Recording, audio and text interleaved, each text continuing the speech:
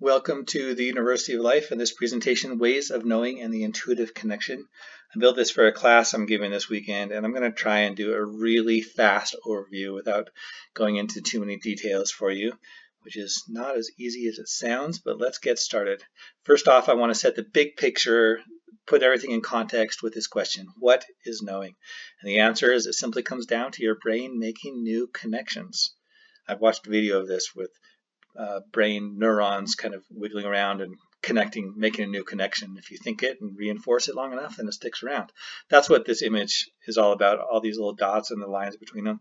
That's meant to represent the neurons in your brain making all these connections, and that's how you know stuff.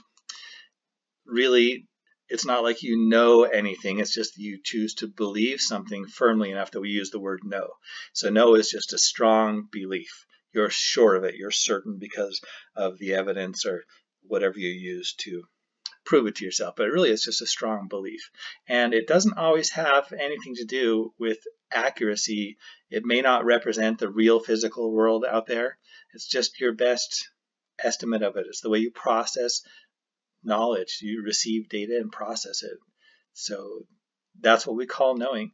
And as a result, sometimes things that we say are common sense. Oh, it's so obvious. Everyone knows that.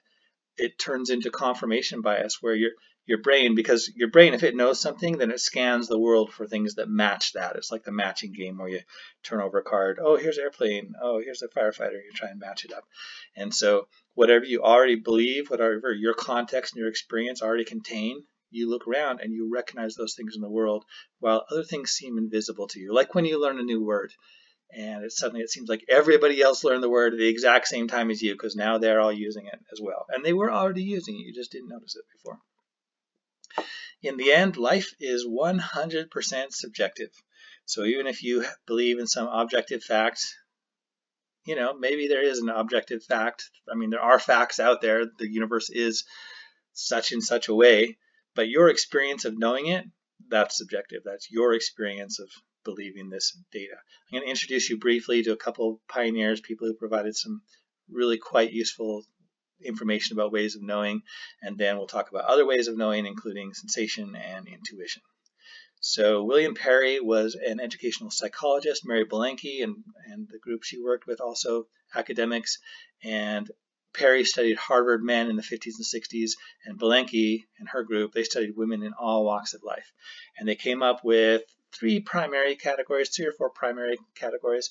First one's dualism. That's Perry's word, and Belenky called this received knowing. And this is basically seeing the world as black and white, right or wrong, and you believe authority figures. So people tell you something, and that's how you know it, because somebody who you trust told you it's true. And that's very appropriate for some circumstances.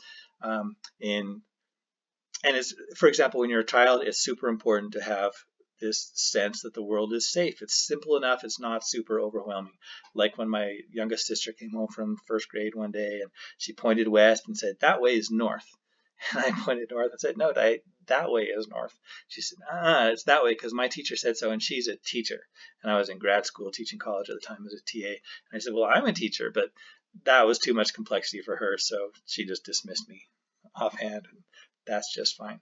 The next stage that uh, Perry students would sometimes reach is multiplism, and Belenky called kind of a parallel, she called it subjective knowing. And in multiplism, you begin to realize that there are many opinions that are sometimes contradictory but can be equally valid. And the world is not all dualistic, not all black and white. In Belenky's instance, uh, these were sometimes women who had maybe been oppressed, and so they're fighting back and they're saying, well, I have my opinion. And sometimes they throw the baby out with the bathwater and they actually distrust authority figures and even logic and rational you know, reasoning.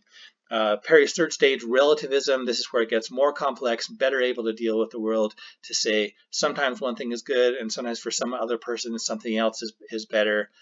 Should you wear a coat when you go outside? Well, it depends. Is it winter is it summer? If it's winter, yes, wear a coat um, maybe somebody is having a hard time and where you need someone to say buck up and do it. Someone else just needs a hug you know and then they can get back on their feet. So you kind of try and pick the best way to deal with this. Belenky in a kind of parallel concept she calls this constructed knowing where you receive information from others, but you process it with yourself and you decide what your own opinion is, and you feel comfortable with that, but you're open to other information.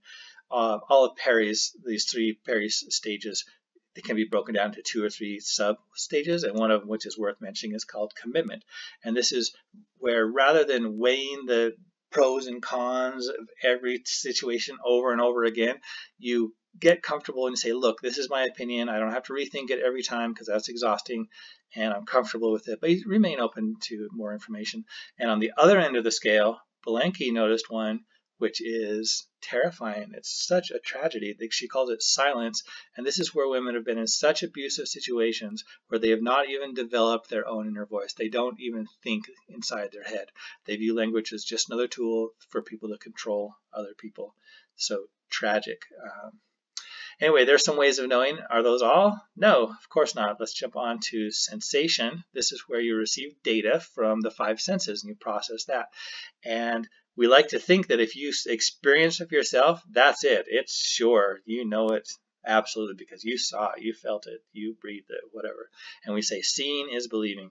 But in reality, much of the time, it's the opposite. Believing is seeing. Again, what you have in your context in your brain, you scan for that and just reaffirm, reaffirms and confirms what you already believe, and you kind of throw out evidence to the contrary. So you might see this picture of beautiful autumn shot in Colorado with autumn leaves and snow-capped mountains.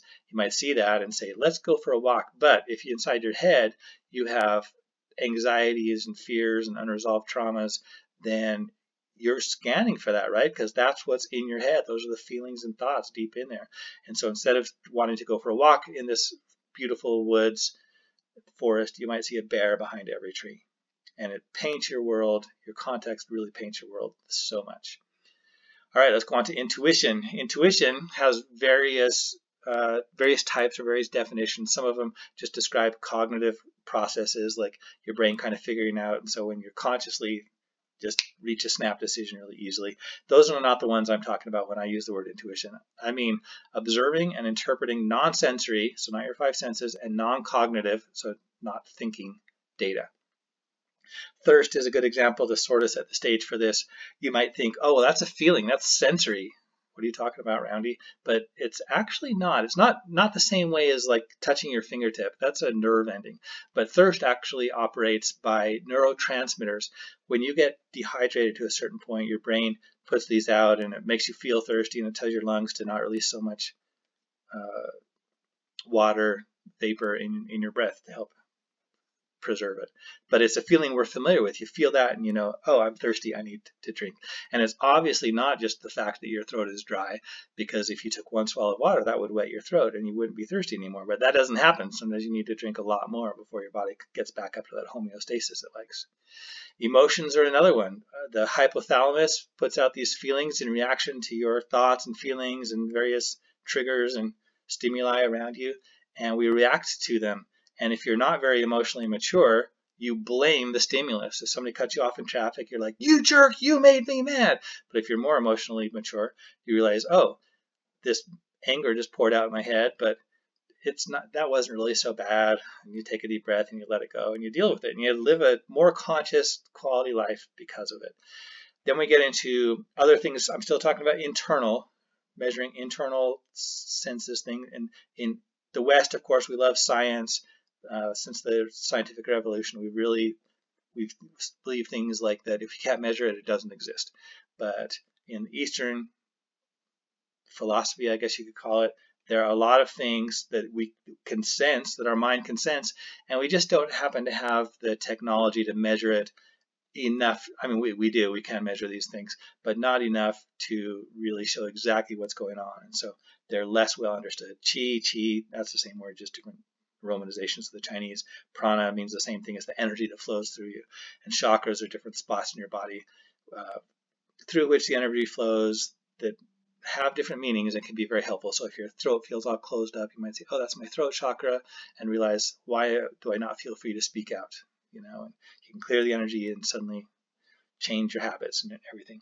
And then the last one I'll mention I guess we can call it ESP, extrasensory perception. So again, non-sensory data coming in, like the stories of the twins who moved to LA and New York, and the one in New York gets an accident, and the one in California calls and says, What's wrong? I just know something's wrong. There's no way to sense that. So maybe it's entanglement, right? Maybe these two twins entanglement theory, if you're familiar with that, where they're connected. And we have these things called biophotons in our brain. It's just basically light in the visible spectrum that's created as we think. And so maybe that's used in some of this. There's no evidence for that. I don't know if that's true. That's just the most recent thing I read and I thought it was interesting. So I'll hold that as a possibility until hopefully we can measure this stuff the next 10 years and understand it even more. But in the meantime, it works. And the vast amount of anecdotal evidence tells us we can't ignore it even if we can't completely prove exactly how it all works. In a minute, we'll move on. I'll tell you about the intuitive connection and this connection between people, basically reading minds, but not the way you're thinking. And then uh, Intuitive Bridge is an advanced application of, of the intuitive connection. But before we go there, I'd like to give you a second to process this information and apply it to yourself. So if you're watching this with someone else, please take a minute and answer these questions. What do you know? What are you so certain of that you say you know it, not just believe? And how certain are you? Which type of knowing is most valid? Do you trust things that people tell you more or things that you've experienced for yourself? And it's probably a situational thing, right? I would rather taste the menu than have someone tell me, oh, that's delicious, looking at a picture on a piece of plastic coated paper. Which type of knowing do you rely on most? Think of a few situations. How much is your perception influenced by experience? So think of someone who with a very different opinion from a different background and ask yourself, are you really being fair and considering both sides, or are you just really swayed from your experience and the beliefs that happen to be in your head already? And lastly, how much are your beliefs influenced by emotions? Your brain is designed to have those emotions control you much more than your conscious mind. We like to think we're perfectly rational, but we're not.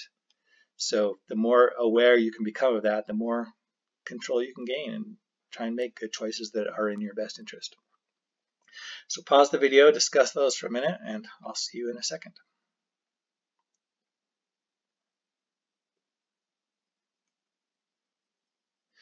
All right, now let's move on to the intuitive connection. I'm going to tell you how to have your own experience of this, but I'm going to start with this question. How do you feel about eye contact? Does it make you at all nervous? Does it make you feel vulnerable? Or maybe it feels really good and so nurturing and just this amazing connection between people. However you react, it's just some evidence, some pretty good evidence, I think, that there's more to your eyes than pretty colored circles with black dots in the middle. They really are the window of the soul. And when you experience this for yourself, you can start to become aware of what this intuitive connection is and how it works.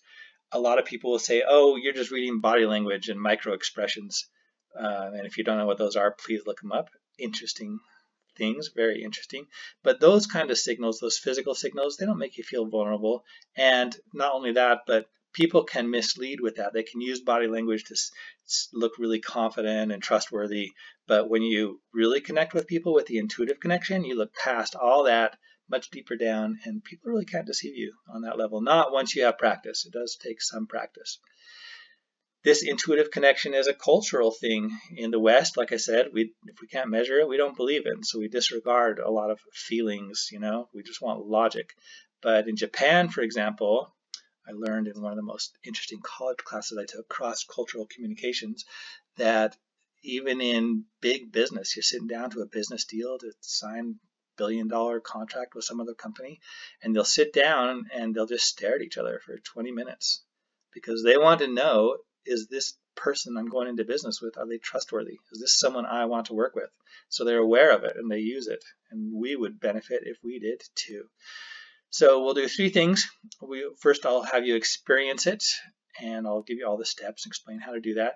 And then you'll pair up with a partner and try this. So then share with each other and then I have some discussion questions to go from there. And by the way, this is all in my book, True You and I just put a bunch of really nice essays in there about how crucial it is to be seen on this level. It's a really essential basic human need and would do people a lot of good. It tells you how to do this. It answers all the questions that everyone has ever asked me about it. And I've taught this to thousands of people and much more. So if you're interested in that, check it out on Amazon. You can also find it at uoflife.com slash books. All right, experience. Let's have your own experience. First off, know that eye contact makes the intuitive connection easier to detect. It's really not necessary, but if it's if you're new to this, it makes it a lot easier to recognize the feelings, the impressions that are hitting your brain and become more aware of them and interpret them. You're going to look at each other for five minutes. So set a timer or something. And if that makes you uncomfortable, remember that's just more evidence that there is something to this and you'd better find out what it is. Blinking is okay. This is not a blink, a staring contest. And if you're doing this in a large group, I always request people to be quiet during this time to not distract others. And I there's a pattern I always see too. For the first minute or so, people are really uncomfortable. They're giggling and squirming and looking away and making little comments, you know. But after about a minute, you know, they relax and realize that it's okay to break this little social norm and and this connection starts happening and this really cool feeling in the room starts up and by the time five minutes are over they can't believe the time's already passed and they're pretty excited about what happened. At least happened at least 95% of the time on average maybe a little more. Some people are too self-conscious it doesn't work so well but overall it works great. During this time clear your thoughts. Don't overthink that. Just if you have thoughts just just let them float away. And instead you're going to wait for an impression or a feeling or even a sensation to strike you. And when that happens, you're going to hold on to that feeling or impression or sensation until your conscious mind translates it into language, until you understand it consciously what that feeling is. Sometimes this will happen quickly if you're familiar with that impression, and sometimes you'll hold a feeling for a while and it'll take a while for you to really make sense of it. And every once in a while, you'll get it, and it'll be a worldview so different than yours that you'll think, I never would have come to that conclusion on my own. It's so interesting to see how other people see the world. Visualizing these sensations or feelings, impressions may help you hold on to them long enough until your mind can interpret them, turn them into language. And so just create any metaphor, you know, if it feels like a big lump, think of it like that. If it looks like a puppy, fine, you know, doesn't matter. So that's what you'll do. Five minutes, clear your thoughts, eye contact, and just pay attention to your feelings and interpret them. Then you'll share with your partner what you experienced. And here are some questions. I have this divided into two because I'll put people in pairs and then we'll have a group discussion about it. What did you experience? How reliable is this data that you just received and interpreted? Sometimes it was really hazy and you're not sure of it at all. But as you practice and people confirm, yeah, that's true of me, or, you, or as you get really specific things that you couldn't have known otherwise, you come to trust it more and more and more. What applications can you imagine for intuitive connection? Well, it can, it's so nurturing. How about kids who are acting out in school who aren't loved enough at home, who need to feel seen and reaffirmed? How about any relationship just to strengthen it and getting to know each other better? How about beginning relationships where you're deciding whether you like this person, whether you trust them or not, um, and strengthening relationships? There's lots of great applications for it. So do that. Go ahead and pause your video. Here, I'll rewind this to the steps. There you go. Do that for five minutes and then play the video again and I'll take you to the advanced application of these skills.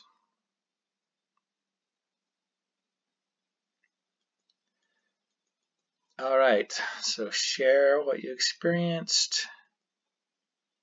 And now let's take a look at Intuitive Bridge, Advanced Application.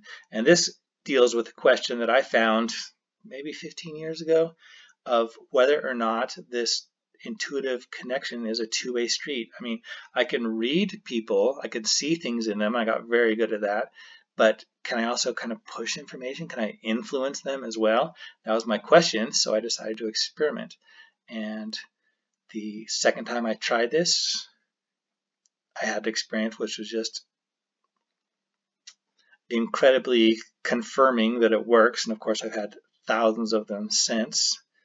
And since I'm trying to go short, I won't tell you that story, but you can find it online or in the long version. If you want to really learn to do this and read other people and influence them, then learn to speak subconscious languages. And you can't really control your subconscious, so you need something that your conscious mind understands, but that your subconscious also does a common language, a lingua franca. And there are two of them. There's imagery, so you can create any metaphor to represent feelings and concepts, and that works. And there's also emotion. This really helps you get in touch with your subconscious and find out what's in there and influence it. And really what Intuitive Bridge is primarily about, it's about healing. So if people have fears, if they have stuck emotion, if they have limited thoughts, you can find those and you can influence them. That's what my story was. I didn't tell you a minute ago, but understand subconscious priorities and processes. So really the science of the of the brain, what we've learned about how the brain works is so useful to know what's going on. And one thing that's going on in the subconscious is it's trying to survive. It's one of its primary motives is to keep the human race alive. And so when it recognizes threats, it often responds by protecting itself and shutting down and blocking out. And you can recognize these things. These prevent people from living a more full life. And so sometimes they're kind of dark and dense. And what you want to do is get them to soften up and lighten up and and relax and be more flexible and and work better. So one way you can find these is you can just visualize a net passing through the person and, it kind of gets stuck. It gets caught on the hard, hard, hard spots. That's just one of hundreds of techniques to make this stuff work. And your goal is to make the mind feel safe because it's going to be defensive. I mean, these stuck spots are there for protection, right? But if you can make it feel safe enough, then it can relax and lowers defenses. And so go in without judgment. And also don't go in and just look at the negative. Oh, that hurts. Ooh, that's scary. Oh, yeah. Come in with hope, with a sense of love, with optimism, determination, strength, protection, you know, and think those thoughts, feel them at the same time as you feel the negatives that you're exploring. And they actually kind of mix, blending, I call that, and uh, instruct it and change things in often dramatic fashion. Show it a new perspective, as it does. And as you do this for your guidance, do what feels right. This is not a time to rely on your logic. Trust your intuition. Logic and rational thinking here is limited because if someone's afraid, you might think, oh, they just need more courage. But that may not be the ideal solution to help heal the emotions and really get them back on their feet. So go with what feels right and let yourself be led by that. It works so much better. Don't go in with too much ego either, just pushing away your pushing around your way. Do what do the right thing, and it takes some practice to. But if it feels good, it feels right. That's basically what I use to decide. And I know this is just a really quick, brief overview, but I wrote this book, 320 pages, a couple years ago, and it leads you simply short chapters from really simple things. It explains how the brain works and it gives you techniques to begin enhancing your intuition, and then hundreds of things to do with it because uh, to use it is in particular for healing as I found things, you know, as I worked with people and and their defense just would not drop, I think, well, that doesn't work. Well, what does? And I'd find another technique that did work. And uh, so there they all are in Heal Your Emotions, also on Amazon and uoflife.com slash books, Kindle or paperback versions for you. And that's it. There's your brief lecture of ways of knowing and the intuitive connection. I hope you found it useful. I hope you found it interesting. I hope you'll take these skills and practice them and enrich your life so much. And I hope that as you do, you'll share them with other people, point them to this video so that other people can discover this thing that they've been missing out on. It really is fantastic. It's such a useful step to making a higher quality life. That's what the University of Life is all about. So Thanks for listening. I'll tune in next time. And until then, as always, live smart, live happy.